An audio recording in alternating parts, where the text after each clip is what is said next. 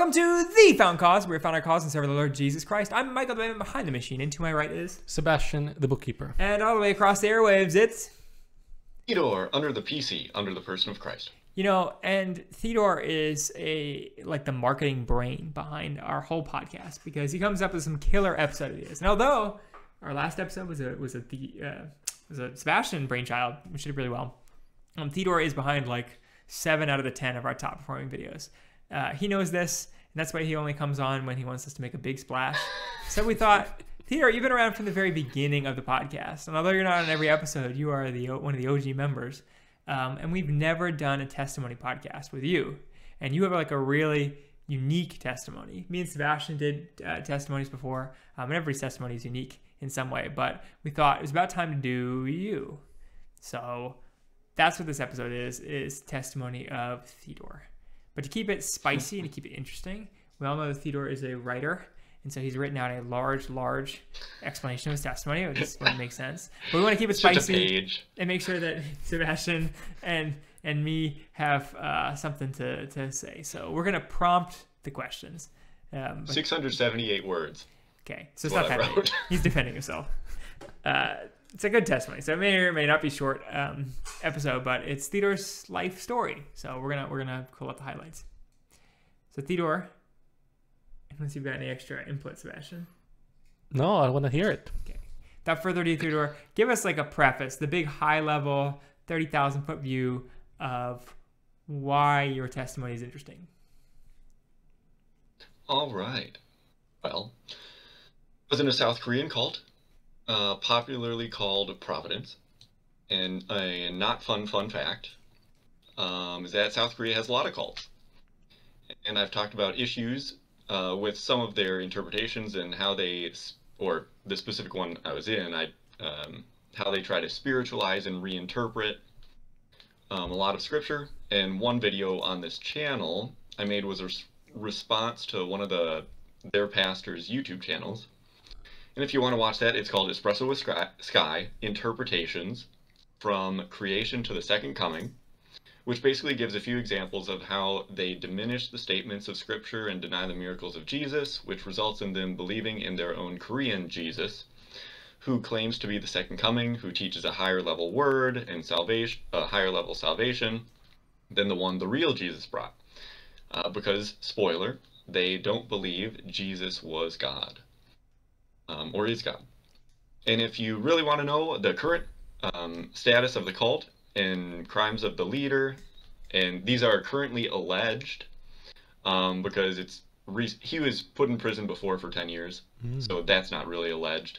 But uh, this one is um, he's currently going to court again for similar crimes since he's gotten out like three, three to five years ago.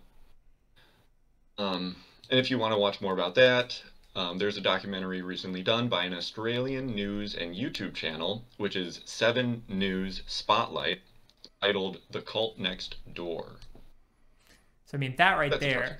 I mean, it's going to, I don't know how I'm going to headline it for our video title, but like you being in the South Korean cult, like I'm probably the most into anime of all three of us, and Sebastian's the most like, you know, exotic, uh, if I can say that. That's probably awful. Yes, yes, you can. the most non um yeah he's got the most world experience between the three of us he also goes to europe all the time um but you were in the south korean cult um what Me, are, a traditional white man. i know a traditional white man in the south korean cult like do you even watch anime um is that Oh, k dramas um that that's oh, I did watch a little. You just kidding. Okay, uh, sorry. Keep so going. you did watch a little when you were there um Little Yu-Gi-Oh. Oh yu-gi-oh well it is japanese so i don't think this is fair Oh, okay, sorry. So all that said, it was serious. Like you really were in this. This wasn't like a joke that you pretended to be in a South Korean cult or whatever. Like you legitimately were. Um, this is a major part of your testimony. So, Four or as, five years, yeah. yeah, and as God is apt to do, He makes interesting stories even out of um, mundane white men. So, I being one of them.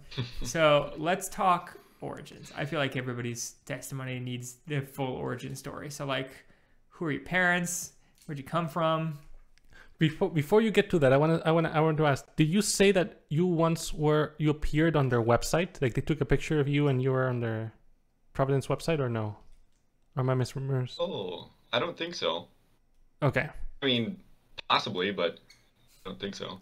Okay, never mind. Must be misremembering that. Do they have photos of me? most likely. Okay, Probably been on video once, but okay. I'll find you then, and verify that I'm not hallucinating. I don't know that I want Might be pretty difficult, but- website, yeah. go for it. Origins. Mm-hmm. Origins. Give me the origins. All right. Um, so the brief origins are: my mom grew up Baptist, my dad grew up Mennonite, and they came together and raised my siblings and me in a Lutheran church and school from kindergarten through eighth grade. Um, Here in Minnesota, yeah. And uh, my siblings joined this cult around the time I was in eighth grade. Eventually came back home and told our family about it. And I was then in my first or second year of high school um, and was the youngest in my family and most impressionable and wanted to look up to, to that sibling. And anyway, felt like I was missing something or like there could or should be more meaningful purpose than I, what I perceived my life um, to have at that time, or in other people's lives, even Christians' lives. Yeah. And can I So- can I um, interject there and say so you went from kindergarten to eighth grade. Did you do you remember like how your relationship with religion with God was growing up Lutheran? Oh yeah, I thought it was really good. Um, had Luther's small catechism. We went through that. I went through confirmation. Remember trying to evangelize somebody on the school bus, school bus in elementary school. Um, yeah, I was just a basic, I guess, more or less obedient uh, Christ, uh, Christian school raised, white boy. Yeah. Uh, whatever. Yes, we we know we know we're all white boys. Um, the yeah. What kind and what kind of kid were you? Were you like a, a shy guy, a sports guy? Like if you had to call yourself, what kind of kid were you made? Uh, more so shy or reserved. Okay. Sports, but yeah, still shy and reserved. And you're the youngest. Did you feel like you were in anybody's shadow, or Um, I actually kind of uh, appreciated being in my uh, th- brother three years older. I appreciated being in his shadow because he was a good, he is a good guy, peace, peaceful peacemaker guy, and he was the, I guess, the smarter person in our family, or the smartest of us siblings. Mhm. So I was, and being shy or reserved, I was just fine being known as his brother. Um, because I didn't really want to have any more attention on me. It was just, I guess, good to be noticed a little bit, not too much. okay? So you kind of enjoyed. You didn't want to be totally forgotten, of course. Who wants that? But uh, you enjoyed having somebody else take some of the heat, which is what older siblings do usually. Mm-hmm. He went to high school one year, or we had one year overlap in high school, and I went to the same university, so one year overlap in the university as well. And you went to, to regular old um, public high school, not Lutheran high school, right? I think in one of the biggest high schools in the state, actually. So big high school. Yep. All And right. out of curiosity, what made him join a cult? Because he's, eventually he's going to intrigue you. Um, This is so the oldest or I the can't- middle? Because Theodore's got two older brothers. The oldest one was the one that came back really interested in the the cult, right? Yeah, I can't. I guess I can't really say exactly what influenced my oldest brother to join the cult. Um, don't really want to speculate on that. Okay. You don't need to Not a problem. I can just say that, like, he went off to college in the Chicago area. He was basically alone. Don't think any of his friends went to that school. Um, my mom recommended that he go to, might have been some big Christian event put on by Moody or something like that. Um, and he went there, and it's there that the cult people were recruiting. Mm. Um, so he first um, got involved in one of those churches in Chicago. And they normally build their churches in more populous areas so Mhm. that they can recruit better. Yeah, and I bet I mean the reasons anybody joins anything is the same reasons you described why you were impressionable. You felt like when you heard about it that you were missing something, um, and that there was more meaningful purposes in life. So that happens to people in college, happens to people like in their coming of age around 14, 15, um, and genuine Christians try to take advantage of those kind of natural life crises um, to get people to think about God. So not surprising that a cult would hit the same. Mm. And so And he was hit in college, and you were hit in eighth grade. Yeah. And he potentially could have been like disillusioned by some of his um, claimed Christian friends. Mhm. Um, because I'm not sure how Christian they were, and obviously that's a part in uh, what some people say, like they don't want to be a Christian because they see someone who claims to be a Christian uh, not actually being a Christian. Right.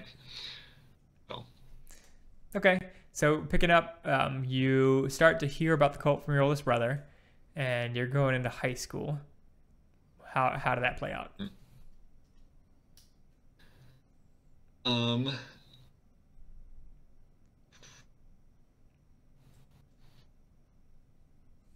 Um,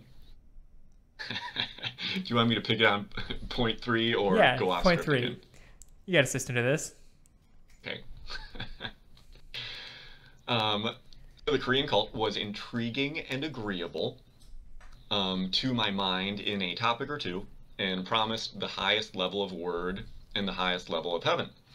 By the time I was a senior in high school, I thought it was intriguing enough, agreeable enough, and possibly true enough that I joined, which meant attempting to wake up for pre-dawn prayer and Proverbs every day around 3:30 or 4 a.m. at that point, um, and listening to and taking action on the words preached, um, and evangelizing, etc. Um, and in that time, I had like a vague dream or two in there um, that I had interpreted to affirm, I guess, what I was following. That's really interesting. What were the dreams? Do you remember? Oh, the one that comes to mind a little bit, which is still extremely vague in my mind, was something involving an eagle. Um, and buddy who knows me knows I like birds and photograph Uh-huh, photographing birds. And I think one of my prayers might have been like something like God show me the right way or whatever. Mhm. And I think something related to the cult and like a bald eagle, something were in this dream.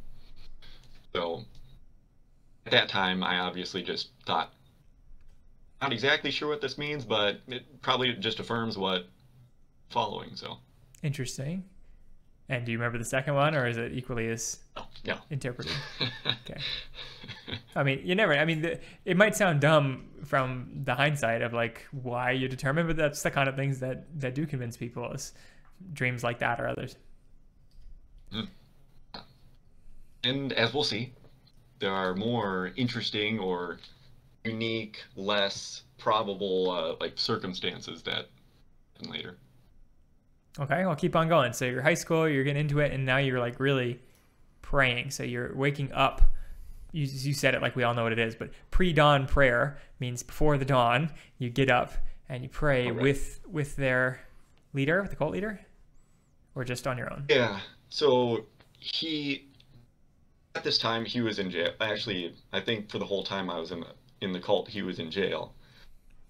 Um, but I think some of the time he could either he could still record videos and or he just uh, they replayed uh, recordings Hmm. he'd done.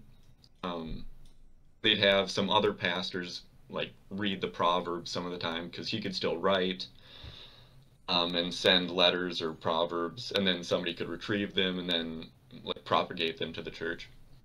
So when you say pre-dawn prayer, it was a video with him, and when you say proverbs, you mean Yeah, it was- sayings from him, the cult leader. Yeah, so it was basically like a complete small service. Hmm. There were there's a music singing, um, and then I guess probably it, just prayer, then music, singing, and then proverbs. Okay. So that's the, now you're getting like juicy. So you decide you're thinking about like what's true, it's interesting, and now you're doing this stuff. So what happens when you go off to college? When people normally become their own men? Yes. Um, so in college, I experienced three significant events, which I attributed as miraculous confirmation that I was walking in the truth. So first was um, freshman year. Um, obviously, you, you get a dorm room, get a dorm mate, um, and there's somebody on uh, somebody whose name was on the door, and I was just thinking okay, God, um, if I got to do this pre-dawn prayer, how is this going to work with a roommate? Um, so I prayed, well, I, I don't know what you can do or what I should do, but uh, please do something. Mm-hmm. And so the the night of move-in day or like one day after move-in day, I get a Facebook message from my would-be roommate saying his mom was in poor health and that he would be staying home for this semester or this year. At that point, I could uh, like purchase or purchase basically rent the whole room Mm-hmm. or just still rent my portion, but then at any point in the year, somebody could fill my room or get transferred to my room. And so I did nothing. That whole year was alone Wow. in the room. Uh-huh. So I thought, oh God, I didn't know you'd do such a thing, but you did it. So I saw that as confirmation that I was supposed to be doing pre and prayer following this uh, Korean Jesus. And Well, and it tells you, you know, we know the end of the story is that you don't happen in the cult, but um, it tells you that God does allow bad things to happen, right? In this case, you to continue in pre-dawn prayer for the sake of your eventual testimony and for His glory. So um, He doesn't always do the stuff that we think He's going to do. But in any case, yeah, I, Mm. I bet it was providential. Um, everything's providential, but this is providential that you didn't have a roommate. Pun intended. Yeah, pun intended. um, okay, so the second, um, second uh, significant event was um, that my university. It's just a small private university associated with the Methodist Church um, in small town Ohio. The university is basically as big as the town, um, like three, four thousand people. and so that school had a sister school in Seoul, South Korea. And what do you know? They have a fellowship program where you can study uh, study abroad for 30 days. Um, at oh, I'm actually wearing a shirt. hey, look at that. Hanyang Hanyang University. um, and so I thought, oh, that's interesting. I could get closer to headquarters or the natural temple, as they call it. And so I just signed up or applied for that fellowship, and maybe 20 people get it, and I I got it. So um, after freshman year, I spent 40 days actually in South Korea. 30 days was the study abroad. Um, and on Sundays and whenever I could, I went to like the uh, headquarter major church in Seoul, South Korea. Um, Okay, and you said they call it the natural temple. yeah, so the Natural Temple is like basically the the major retreat center, which is um, where the guy was born, and he's just he just continued like buying land around, Mm. um, and making it beautiful and such. So I have to stop and Um, ask. So you were in high school and you're in college. Did it ever strike you as weird? Because Korea is pretty obscure. You know, I guess they're more and more influential these days because of like K-pop and whatever else. But like, it's kind of an odd group to have a cult that goes abroad. Um, although, as as we know, and even as you said in the beginning, South Korea actually has a lot of cults that go abroad. So I guess it's not that weird. But um, I thought the U.S. was supposed to be this core of all cults. You know, aren't we the ones that make up cults and then export them abroad? Did It was. Did it ever strike you as weird that that it was a South Korean thing, or did that never feel weird to you? Because obviously you're not Korean. No, yeah, actually, one. of course, I laugh at it now, but one thing in the Bible that they point to is like, uh, eagle comes from the east, and they obviously say, "Oh, well, how much more east can you get than Korea?" Um, The evil comes from the east. oh, sorry, the eagle. Eagle, the bird. Oh, from the the east. It's like a- oh, like, what the A heck? verse in the Bible. In Why are they saying something. that? Seems counterintuitive. No. I mean, I can think of a few places that are east of Korea. Japan. Yes. Yeah, yeah. No, true. no, I'm just, I'm just. But then, again, when you think of Jesus and where he came, Bethlehem, uh, nobody saw it as anything special. So when I thought, well, it could the second coming, the second coming could basically happen anywhere. So it didn't really matter to me much. All right. Okay, so you weren't. Didn't seem weird that it was Korean. Okay. All right, so you're you're now in Seoul. Very exotic, by the way. So you've gone from Minnesota to Ohio to Seoul. You've done like a real world traveler jaunt here, and you're in Seoul, and you're going to their headquarters, the Natural Temple, the place of this guy's birth, and their like main cult HQ. Uh, Yeah.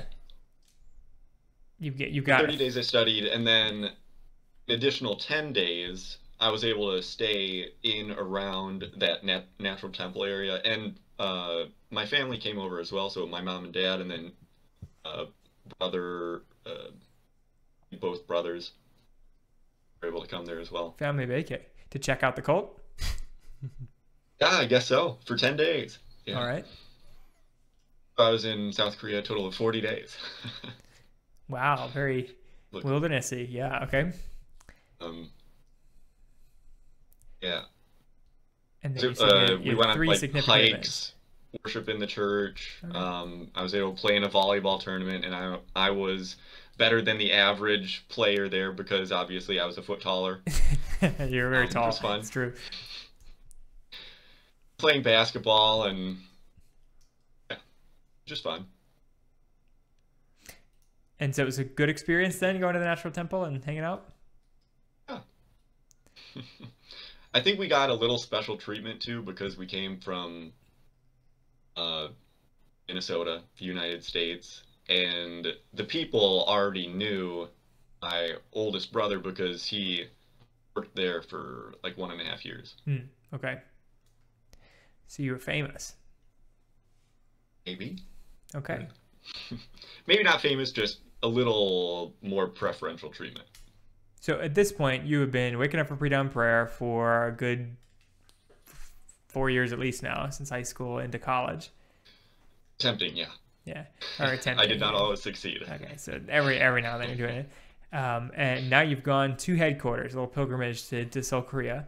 Um, was there any trouble in paradise at this point? Was there any questions that you had in your mind um, post the, the like confirmation dreams you had? I don't think so. I was able to learn from like one of the head lecturers at the headquarter church in um, Seoul. And actually, uh, on the Hanyang University campus, a Christian came up to me and tried to evangelize me. Really? and then it was so strange because I was in the cult at the time and thinking, oh, you're going to evangelize me because you're a Christian? Well, maybe I'll evangelize you because I'm in Providence. Uh-huh. And it's just interesting. Well, uh, Korean But, Christian, I assume. Right. Yeah. I think he was a legit Korean uh, evangelistic Baptist Presbyterian Christian, and something like that. All right. So you said uh, I'll let you get your third thing in. You said there's three significant events. So you got the no roommate Oh, right. in the freshman year. You got the opportunity to go to Seoul. What was the 3rd one? Yeah. Um, so there's a little rooming confusion um, in uh, Seoul. Uh, like where I would stay at Hanyang University. So originally we went to this one place, but then they said, no, this isn't the right place. It's, it's that place. And we went to that place, and I don't know if we had to turn back to go to the original place again or stay at this, but but nonetheless, get to my room and there's a name on it again, and I'm like, oh no, I forgot about this. But then I remembered, oh well, I mean, God, I don't really expect you to do the same thing twice for me, but whatever you will, uh, whatever you want to do, if you. Uh, So you were worried about having another roommate? Is that what you're saying? So there was a roommate on the door. Got it. Yep. Um. So, but yeah, that night, went to bed, woke up in the morning, nobody there. Next 30 days, nobody there. Wow. So again, I had the whole room to myself, even though presumably there's supposed to be somebody else there. Okay. So Which those are your three things. I mean, those, those, those are clearing the path. Um, so this is where we should stop, and I should really flip it to Sebastian because Sebastian really wants to drill you on the tenets Okay. because I think that's what the audience is also thinking now. We, we know you're in the cult, we know they have a cult leader, but like let's get into like the juicy deets of like what this cult is. What is Providence? What a, what a neat name, Providence. Um, Sebastian, take it away. Yes, tell me because you know right now they sound pretty normal to me, but but the fact that their leader is in jail, something questionable must have happened. So tell me, yeah, the details. What uh, what is Providence in a nutshell? Um, yes, in a nutshell, it's a splinter. So, if you know the Moonies or the um, unit no, the Unitarian Church or whatever. Uh huh. So it, there's the Moonies, and then the Unitarian Church might be a splinter. I'm mashing things up. It might be a splinter group from them. Nonetheless, Providence is a splinter group of the Moonies or the Unitarian uh, Church. Okay. So, The Moonies are a South Korean cult, basically right? And Unitarians it's are people who a believe that. that... comes out of a cult. Yeah. Okay. So it's a it's And- a daughter cult of the Moonies or the Mhm. Unitarians or both. And so they have these 30 principles, Okay. and they're almost exact copies from the pre the Moonies. Okay. Um, and eventually, so you're supposed to go step by step through those 30 principles and eventually realize that the second coming basically has happened. You're supposed to realize how to interpret the Bible. Um, and then eventually realize, they really like using the re- word realize. Um, you're supposed to realize that this uh, uh, Jung Myung-seok is the second coming, basically.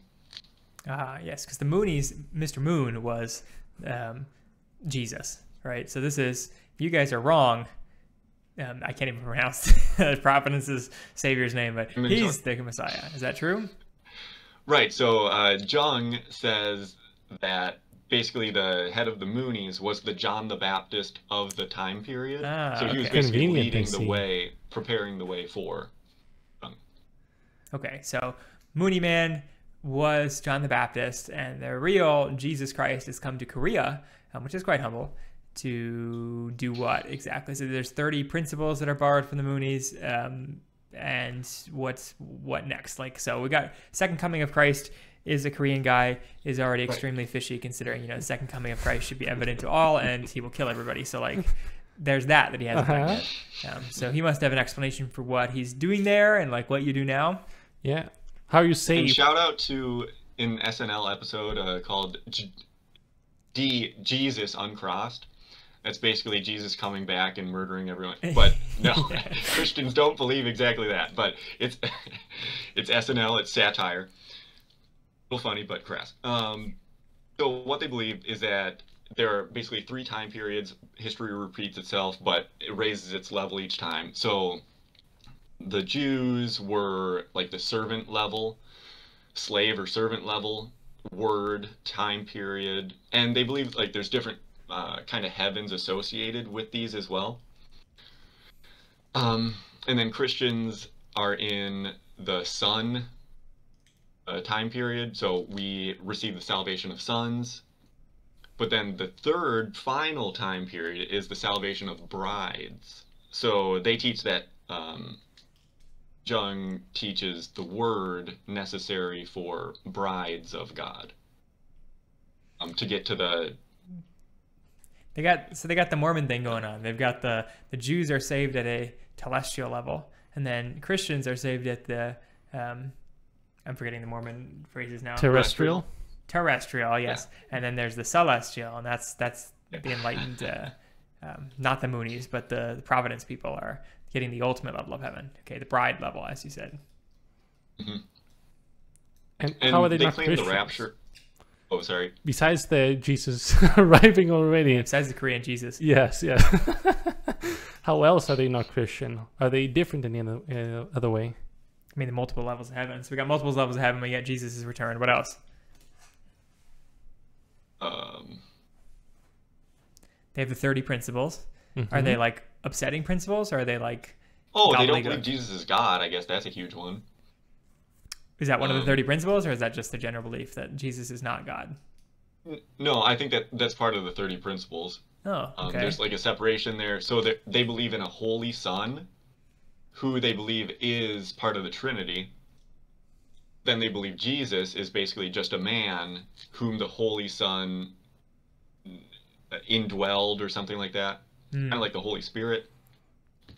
Nestorianism Dwelling question Yeah, mark? this is like true. So Nestorians get a bad rap for for believing this when they really don't. But like, this is Nestorianism, where Jesus was a man possessed. Like the the Holy Son is God, but Jesus is not. Right. Yep. That's what Providence would believe. So that means uh, I'm gonna gather that the cult leader, who I can't pronounce, he he believed he was a regular man that was possessed by the Holy Son. Yeah. Yep. Okay, so he was just a regular man, but one day he got possessed. Um, yeah, one day he, I guess, did enough. I think a lot of Korean cults are works based, um, Mm. which maybe, uh, don't call me racist, but I think maybe they're prone to that given their culture. Very dutiful. Um, yeah. And sorry, I drew a mental blank. So one one day he achieved enlightenment and came up with the fact that he is the Christ, which is always a great sign, really great sign um, that you have lost right? it. Yeah. So he is the Christ. I assume he was a Mooney prior to being. Right, Christ yeah, himself. he was involved in the. Man, why can't I think of it? It's a. I'll look it up, but you can continue to ask me questions. Um, but yeah, he was previously a Mooney Okay. for however many years. Then uh, called himself the Christ and said, "No, it was." I realized this is John the Baptist who was preparing the way for me. I take it that this group is exclusive, meaning like there's no salvation outside of this group. Um, not sure about that. He might be more open to because they believe in like levels of heaven. Mm. Um, I think they're more open to believing like if you're generally good, um, you'll get an okay area. Nice. Of course, none of that's in the Bible, so they believe in continued revelation too. I gather. Uh, right? Yeah. obviously, Jung Myung-seok can receive God's word anytime he wants. You said this guy had proverbs. Is there like a name for this book that he compiled? Oh man, yeah, he's. I don't know the names of the books, but he's written two or three books at least. Actually, I I was over at my parents the other day and saw one of the books that he wrote on the table, and I asked, "What is this?" And my mom said, "Oh yeah, your brother gave that to your dad, and he read it." And I was like, "Okay, okay, interesting." So we've got But in my dad's defense, he's also reading a really strange Mennonite book right now. I, he's he's a prolific reader in his retirement. okay. Um, he loves reading the Bible and religious stuff, and also he was previously Mennonite, so there's this interesting book of a Mennonite's memoir, whatever. But Okay, so we've got Korean Jesus, we've got um, multiple levels of heaven. We have Nestorianism, like possession, possession of Jesus. So that's how he became the Christ. Um, I'm guessing works based too, because you mentioned it. So the way you achieve highest level of heaven is through works of some sort. Right. And interjection. I just found it. It's the Unification Church. Right, which is the Moonies, right? That's the official name of the Moonies. Right. Yeah. Yes. Yes. Yes. Okay. Just it, I get that mixed up all the time, but um, yeah. So while I was in it, they're preaching like I think the rapture happened. They say the rapture happened in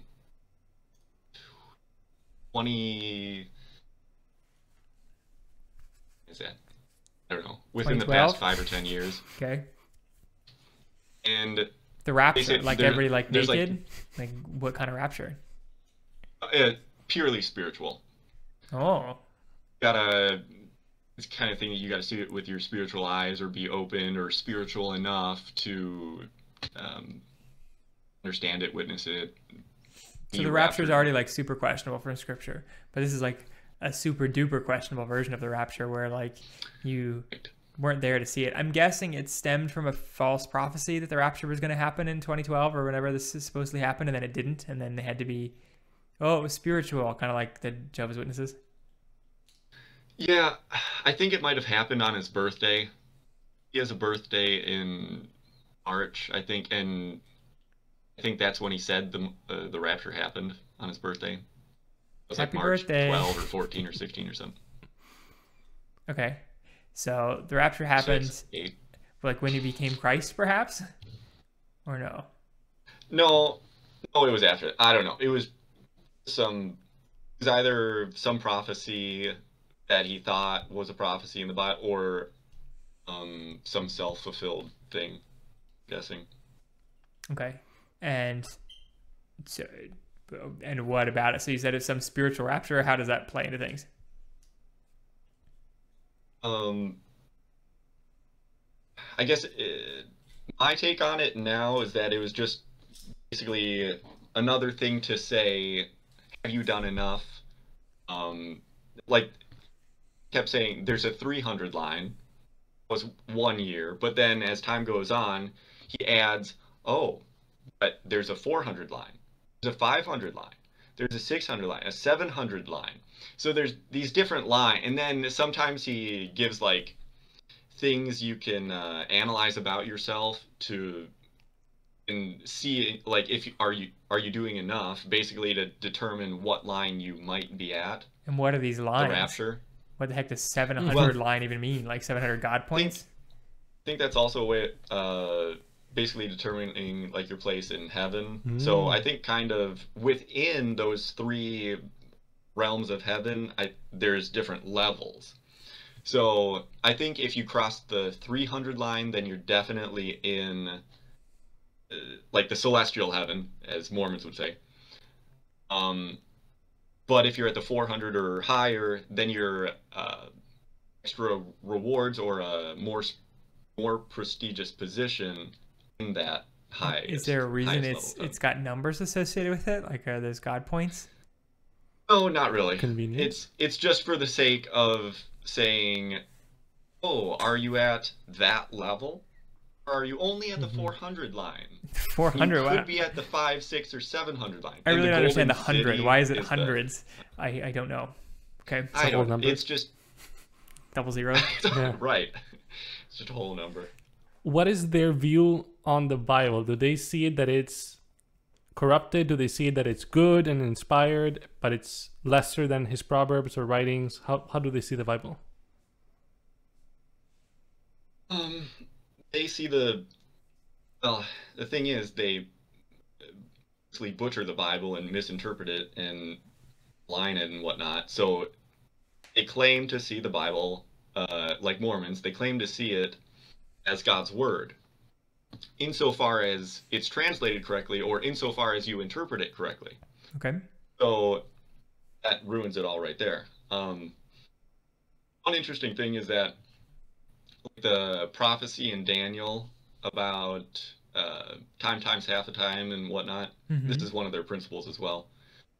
Um, they say in 19, I think 1945 or something, he was born, and then uh, th- there's like another number that you add, and then it's 1978, which is when Israel became a country again, got its sovereignty again or something Yom like Kippur that. War, right? Okay.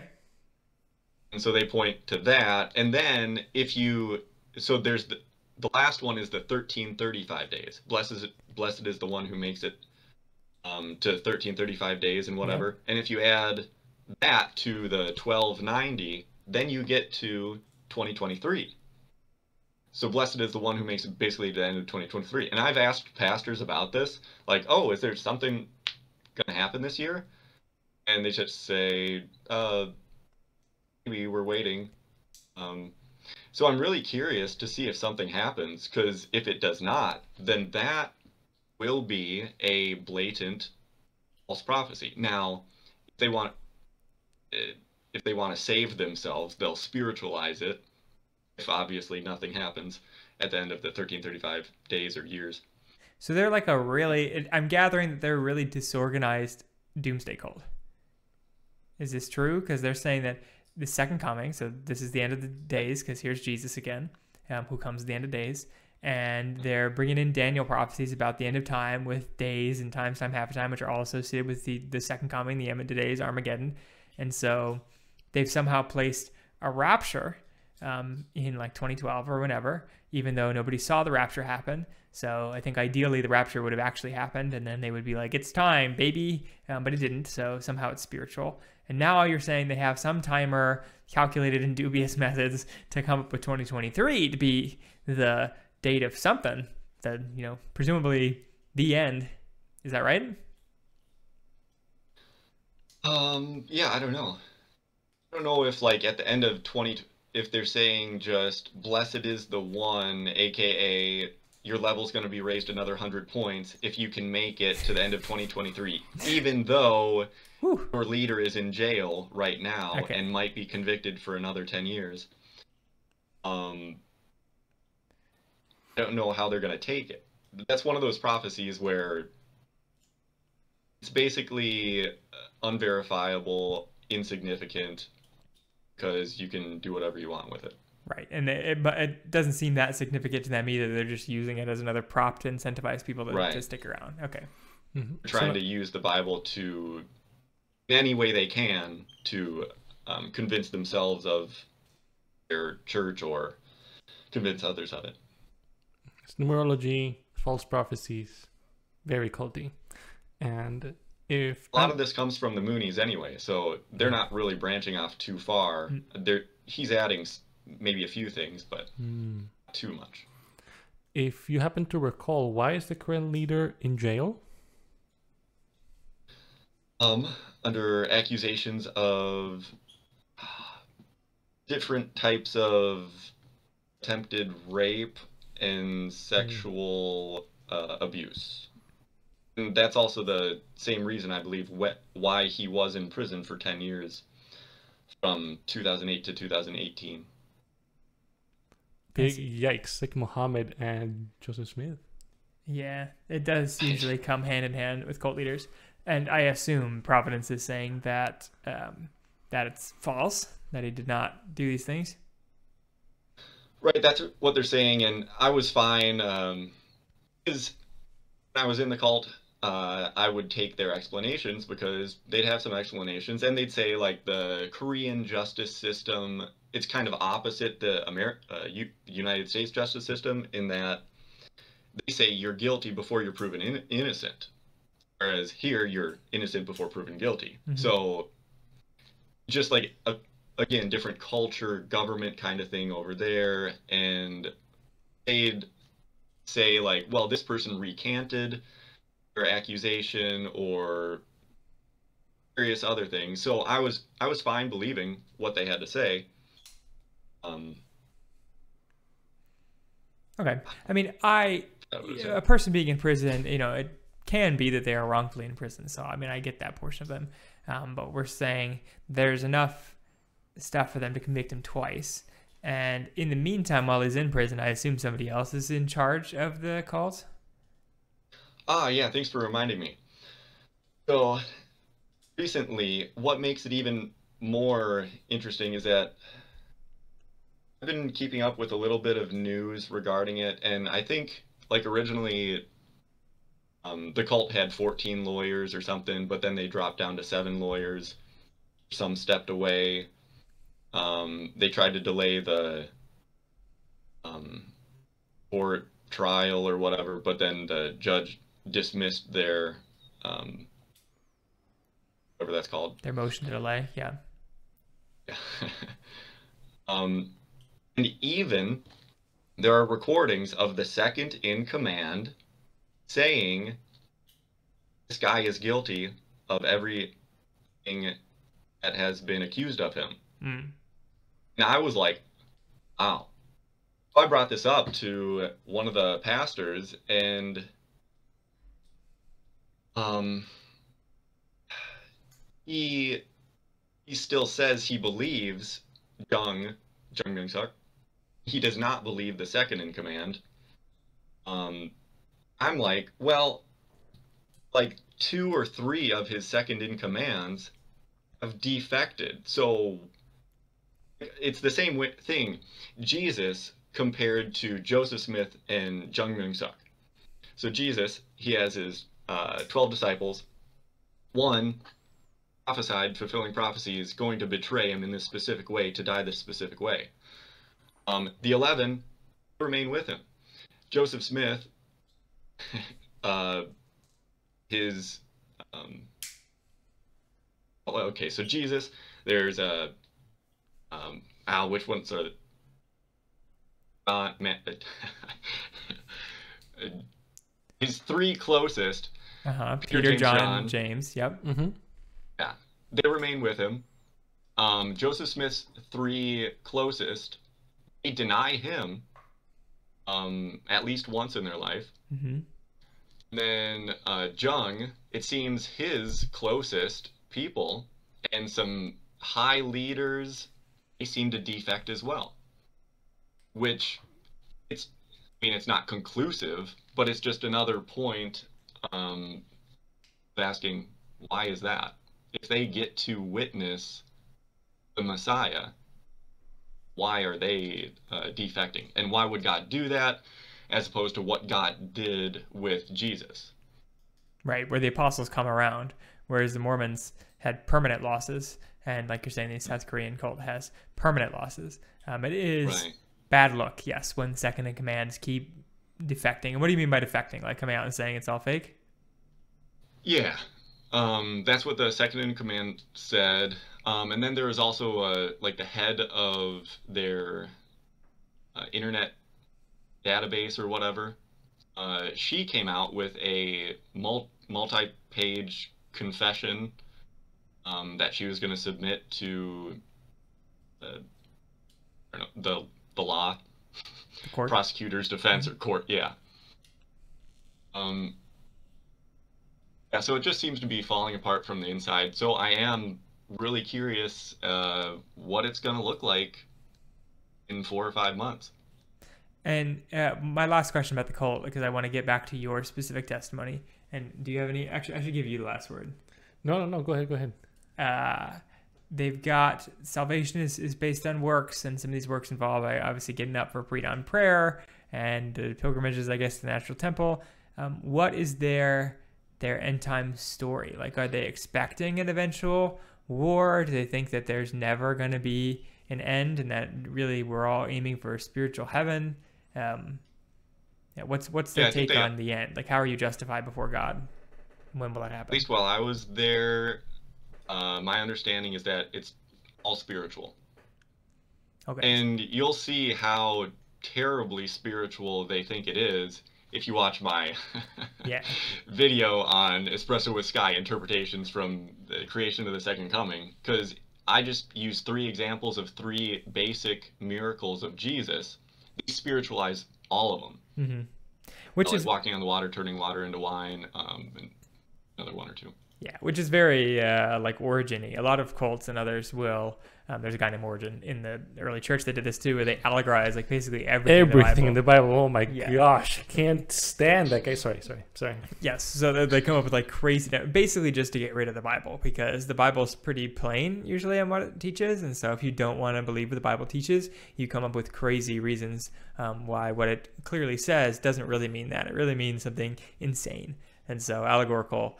That I mean, there is allegory in the Bible, and there are themes in the Bible, so it's not to discount all allegory or all themes that you find in the Old Testament to the New Testament, but typically, if somebody's doing it for everything, they're wrong, which is part of my argument against. Uh, amillennialist, but that's a totally different conversation and way less serious than, uh, than South Korean cult. Okay, so that's Providence. You were in it for a while. You went to South Korea for um, 40 days, and you come back. Walk us through how you came out of the cult. Like, what's what's that whole deal? All right. So after college, I came home and stayed in my parents' basement, like any good um, college homecomer, Uh huh. um, until I found a job or place to live. And I thought it was only me and my sibling in the cult in Minnesota, so I thought I had to evangelize and would need to argue from the Bible to convince Christians of the Korean Second Coming. So um, I prayed more and read the Bible more, and like like the five years prior, I found myself back on the fence of whether it was actually true. And through asking my uh, trusted cult pastors from Chicago and New York City about certain topics and interpretations, eventually uh, being able to ask one of the head pastors, if not the head pastor in the United States from California, over the phone about Jesus' resurrection, um, I came to believe that the cult and the biblical Christ were in conflict. So I came back to the biblical Christianity. And here I am, five years later. So I'm gonna guess like you came back to like how you were raised in Lutheranism. Is that right? Like you suddenly decided that after talking to some of these people, they weren't trustworthy. Like how how did that happen? Wait, what do you mean? So I don't think I came back to Lutheranism so much as just like a, ba- a mere Christianity or basic Christianity of the Bible is true. Now, what does the Bible actually say? Hmm, okay. And so, and so you talk to these past, and you still have conversations with these pastors. It sounds like from New York and elsewhere. Frequently. Um, and they just weren't able to answer your questions. Like, how? Why did? Why did that change your mind? You'd been convinced all Yeah, this so- time.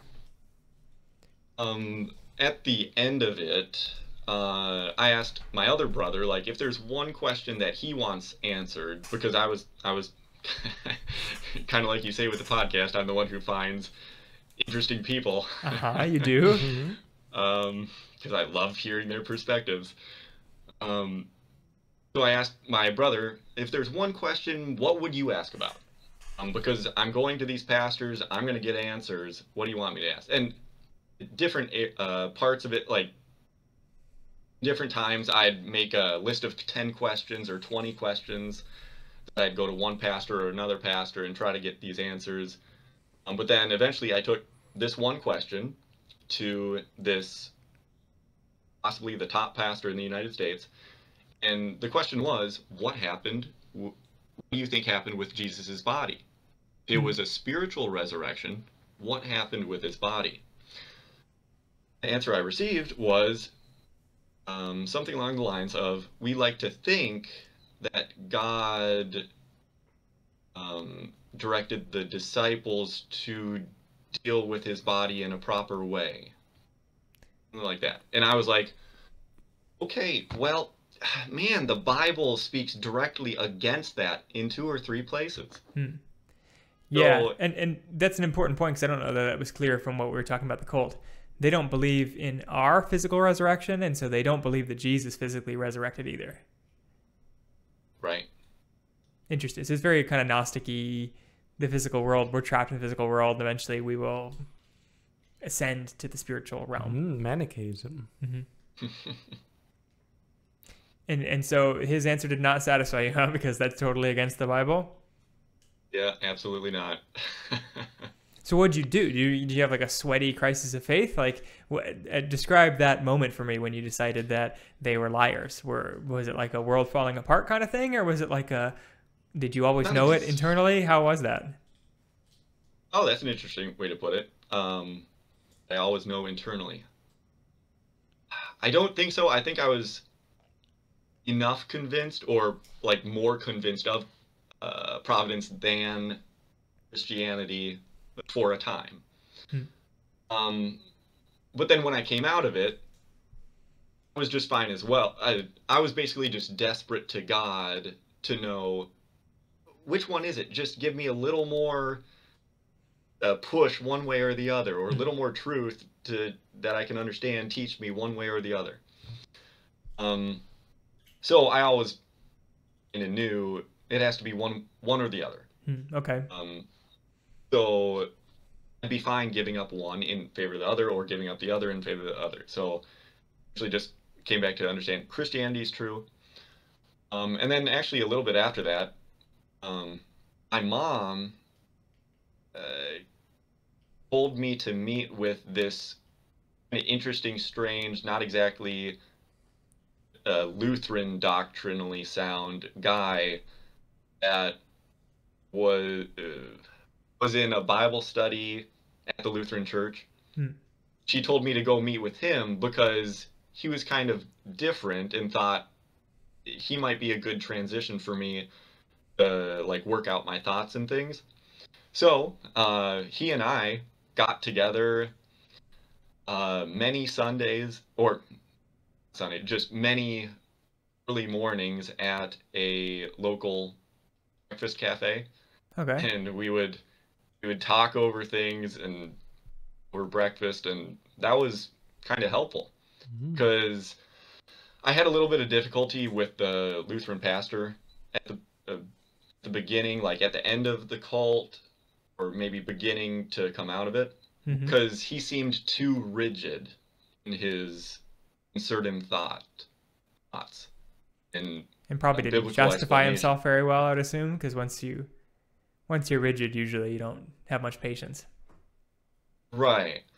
So uh, I was like, oh, I, I can't really move anywhere with this guy or um, sharpen iron, sharpen iron or whatever. So, mom, the grace of God, got this perfect man to meet with me, and it was it was great. Got to talk about literally everything, uh, from cult to Christianity. Um, and that helped me further get out and clarify uh, my thoughts. Yeah, so so here's my like base question then. Um, you were raised Lutheran, uh, got into the cult, came out, were really examining the Bible. Do you think that you were saved prior to being in the cult, and the cult was like like a couple of years of of lapse, or Like a prodigal son. yeah, do you think you came um, to Christianity afterwards? Like when do you think you became a like regenerate? Um, I don't really know. I can answer that. I don't know because obviously, uh, when I, earlier on I thought I was Christian, Mm-hmm. but I don't know if it, that was just me being like a uh, not too knowledgeable, but more so young and ignorant of or just wanting some sort of pur- I don't know if it was my feelings, desires, intentions, or if it was really the Holy Spirit in me. It's difficult to discern that. Um, I think. I mean, And, like- I'll, I'll say from the outside in, it seems like you did love God prior to going into the cult, and that the thing that pulled you out of the cult was your your love for God. Like you were asking God, like what's true, and God directed you through the Bible to His truth, which is in the Bible, and that you were kind of put on just hiatus while in the cult for a little bit. Sure. Yeah, and I could agree with that. One way I'd kind of look at, at it um, in agreement with that, that if I had not gone through that fire per se, um, then I'd be totally weak, uh, a weak sauce Christian right now Mhm. if I had not gone through that testing period. Yeah, and you know, it makes I mean the South Korean cult aspect is pretty unique, anyways.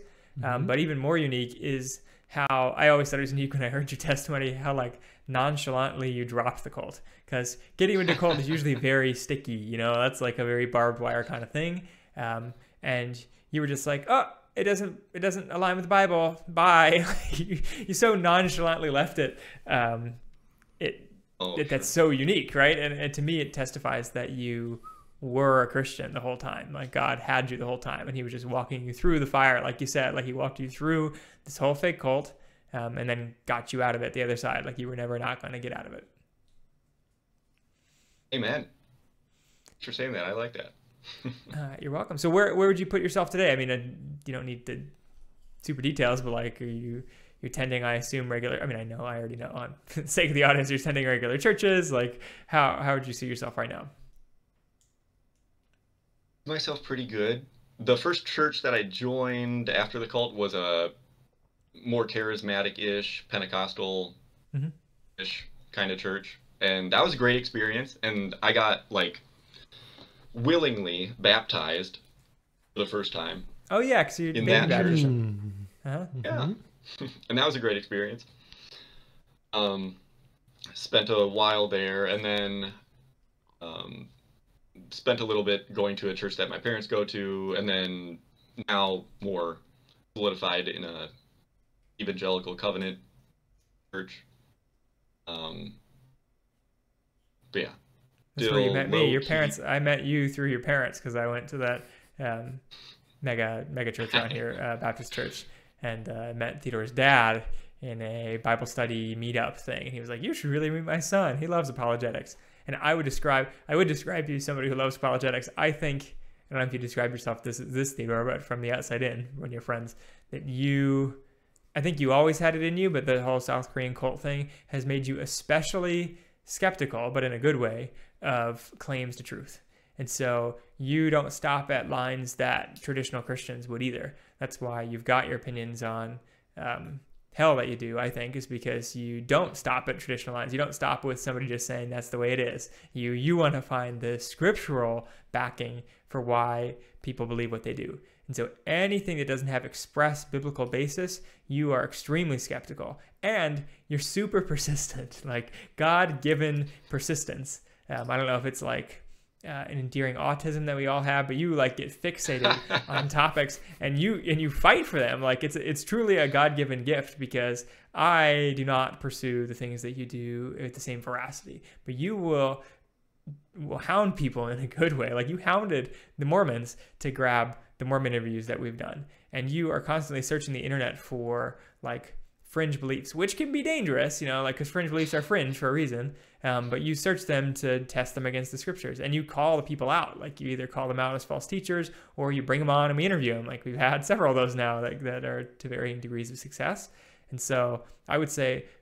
Uh, it seems very providential again no pun intended here that god brought you through providence all the while in his hand because it has strengthened that which he already put in you which is this like total ability first of all to connect with people and somehow you you get big time false teachers and pastors and, and everybody to talk with you for a long time um, and you're like insatiably hungry for the truth so uh, i agree that the fire has refined you there because Sebastian's super curious. Sebastian has all the book knowledge where he's reading all, um, People that no one knows about. yeah, people that no one knows about church history and theology. Um, I think I've got the gift of gab, um, but you have like the, the insatiable curiosity that I don't, and I don't think even Sebastian has that like kind of like people curiosity that wants to like call people in. So, um, Oh no! Whenever you say the people you find to like talk to, I was like, "What the heck? How do you even find these people? I would never be able to find these people." So And if you look at the graveyard of faces that we've brought into our tiny little podcast, it's like a local Christian Hindu combiner guy who just, just- yeah, he's like, yeah, you guys do a podcast that says that everything I say is fake and then I'm a moronic. yeah, come on. Like, how'd you even do that? Only by the grace of God did you get that guy on. Um, we got the guy with the total non-traditional views of hell um, and everything like that, but not just that. Like, and he was a pastor, so it's not like he was a nobody. He was he was a busy person that took time out of his schedule. So well done. he came on. Said he once pastored the fastest growing church in his denomination, whatever Yeah. that means. Methodist thing, right? Um, and then we got David Alexander, who like what the heck? I didn't know you got us a big name, but Apologia, like the next week, was like, we can't even get this guy on. He refuses to interview Calvinists. And I was like, oh, we were those Calvinists. wow. Uh, so I don't know. You got, you got David Alexander on. Um, The grace of God again. That that was maybe his first and last. uh huh. And the Mormon Christians. missionaries, and, uh, you know, Lord willing, probably other people. So, uh, that's how I would round out your testimony. That's where you are today. A better man because you went through all that than uh, had you not. Mm-hmm. Do you have any closing questions, comments, Sebastian? No, I liked your story. It is powerful, especially if you're going to share with other people that have had a similar uh, search for truth and they find themselves in other cultic like groups like Jehovah's Witnesses, Mormons, and you can even stretch it out to some fringe Christian denominations that are cultic like. So I'm just happy to see how God has used you and the best part that I would say is you're very, you know, understand that people don't know you based on just the podcast, but you're a very reasonable and amicable person, which a lot of people that do apologetics for a living can be mean and uh, feisty and rude sometimes, but you're none of that. So that is also another gift that God is acting in your life. That you've had that story, you've had that, you've gone all through that, you've searched for truth, but you're also very amicable. So praise God for that. Praise God. You got some sharp words online though, but don't we all? I feel like comments never translate to, to things. Um, I get passionate sometimes. you do like you use sharp words online, but so do I. Like I read some of my own stuff, I'm like, gosh, I was sharp. Um, if, if words, if you just speak really straightforwardly in your in your text words, it can come up as really non-nuanced. Um, but we forgive each other, so that's how it works. That's why I would like some of our, our really angry commenters um, or passionate commenters like Eric Alharb and others who've done whole videos on. Come on, man. Like, like email us at foundcausereal at gmail.com and let's set something up because I think everything would be better in person than it is um, in text. Mhm. Do you have any closing The- Theodore? Um, oh, I think I'm good. All right. Well, thank you very much for giving your whole testimony. Thank you all for enduring the setup to it. And hopefully, this was useful to anybody listening. That's why we have found our cause in serving the Lord Jesus Christ, the real one, not the Korean one, um, the, the everyman one. Uh, I've been Michael, the man behind the machine, and to my right, your left has been. Sebastian, the bookkeeper. And our special guest and contributor across the airwaves has been. Theodore, under the PC. Thank you for listening. If you want to see the rest of our episodes, you gotta go to found foundcause.podbean.com. Not found peace. That's probably some weird new age thing. Um, that's audio only though on Podbean. You gotta go to YouTube or Facebook to see our beautiful faces. And we're also on Spotify and iTunes and wherever else you might find your podcast. So until next time, we talk about something completely different. Thank you for listening. Bye.